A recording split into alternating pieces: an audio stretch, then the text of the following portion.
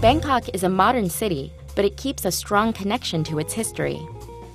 Nowhere is that connection stronger than in the historic district Rattanakosin.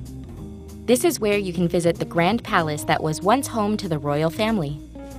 The palace and its grounds are massive, with architecture that incorporates both Thai and Western styles. Inside the Grand Palace is Wat Phra Kaew, Thailand's most important Buddhist temple. This is the first thing you'll see in a guided tour of the palace. This temple is easily one of the most lavishly decorated due to its importance. Wat Phra Kaew houses the sacred Emerald Buddha. Though it isn't very big, it's the most important of Thailand's Buddha images.